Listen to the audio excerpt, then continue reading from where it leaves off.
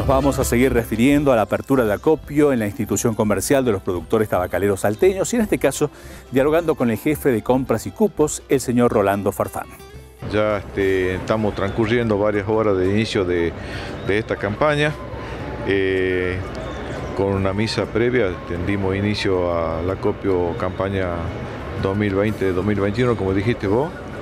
Este, nos tuvimos que reinventar con esta nueva modalidad, con esta pandemia nos trajo, digamos, este, algunas consecuencias que nos tuvimos que obligar a tratar de cambiar algunos aspectos. Este, por ejemplo, en, esta campaña estamos trabajando en horario corrido, lunes, martes, jueves y viernes de 7 a 4 de la tarde y día miércoles de 7 a 3 de la tarde.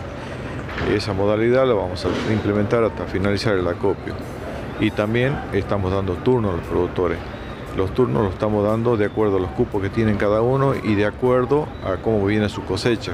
Entonces nuestros técnicos de campo están trabajando en ello para poder otorgar los turnos. Y aquellos productores que ya tengan tabaco listo para, para entregar, que hablen con sus técnicos para que lo, lo registren y le saquemos la muestra pertinente para que puedan entregar sin ningún problema.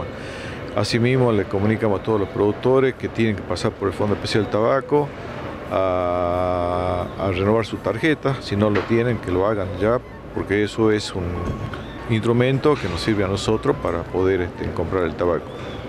Y eso se le va a servir para comercializar el tabaco en cualquier acopio. También estamos trabajando con la modalidad de protocolos, los protocolos pertinentes para para asegurar la salud de lo que trabajamos en la empresa y para los asociados productores, quienes son los actores principales de, en este cultivo.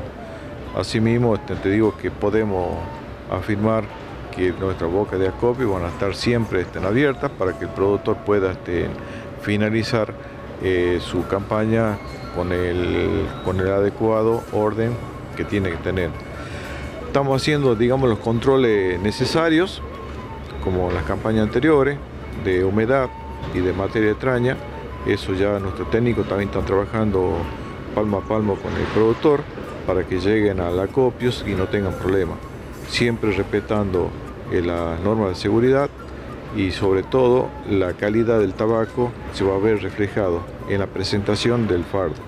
El fardo tiene que estar bien acondicionado, bien clasificado, libre de materia extraña, con la humedad correcta y por supuesto que no tiene que estar sobreprensado. Así, de esa forma, nosotros podemos comprarle al productor sin ningún inconveniente para que nuestros clientes sigan observando la calidad del tabaco salteño y poder seguir inserto en los mercados internacionales. Y a propósito, Rolo, ¿cuál es la calidad que está llegando justamente en este primer día de acopio en el que estamos haciendo esta nota? Bueno, mira, este, como como todos los años, los primeros cortes que vienen son la, bajera, las hojas que están, digamos, este, abajo en el suelo. Por lo menos hasta ahora, digamos, transcurrido ya 4 o 5 horas de acopio, la calidad del tabaco es bastante buena. A pesar, digamos, que no tuvimos la, la lluvia correspondiente cuando se necesitaban, pero a partir de ahora creo que ya empezaron a llegar y eso este, se va a ver reflejado en el futuro con el tabaco de mejor calidad.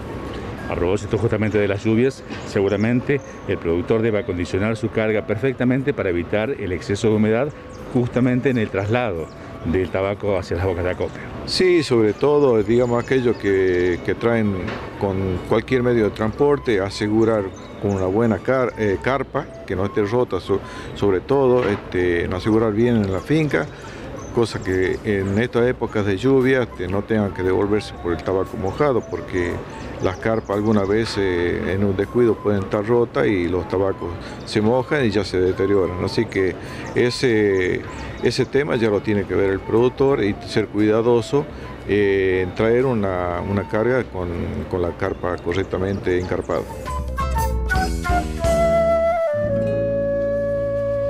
Hablábamos en los bloques anteriores de la correcta presentación y el acondicionado de los fardos de tabaco para llegar a cada una de las bocas de acopio y es fundamental conservar o mantener los grados de humedad que se solicitan, teniendo en cuenta de que es uno de los requerimientos que tiene el mercado internacional. Seguimos dialogando con Rolando Farfán, jefe de compras y cupos de la Coprotab.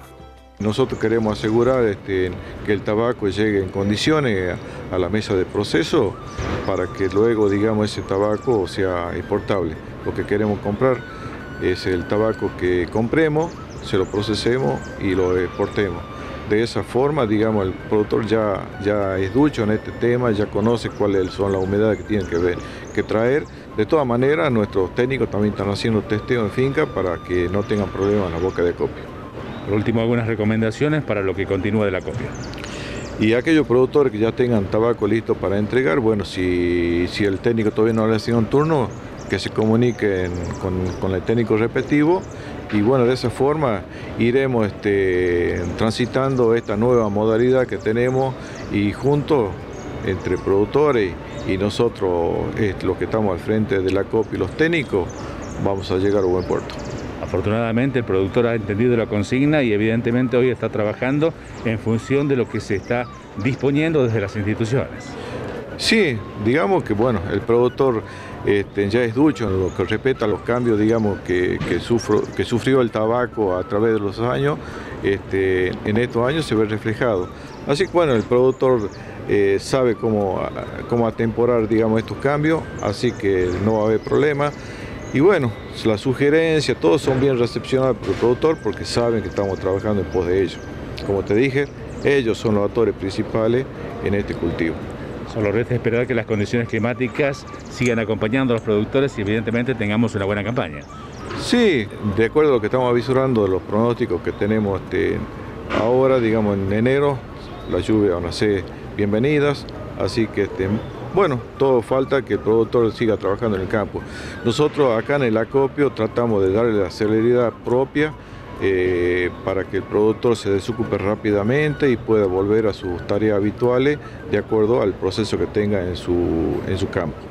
Eso es fundamental justamente para darle continuidad a esta campaña tabacalera que está un tanto más difícil, producto justamente del protocolo, de las exigencias que tiene cada uno de sus establecimientos agrícolas.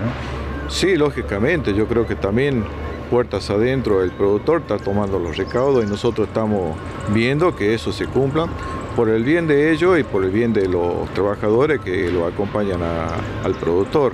Lo mismo ocurre en nuestras instalaciones también. Cumplimos todos los protocolos necesarios para que, bueno, poder sobrellevar esta pandemia y llegar a buen puerto muchísimas gracias y seguramente seguiremos en los próximos días acompañando el acopio en la institución de los productores salteños. Sí, a través de tu programa este, iremos informando sobre la marcha, este, cuáles son las novedades pertinentes de este nuevo acopio y ayornado a esta nueva modalidad de acuerdo a lo que estamos transitando en esta pandemia.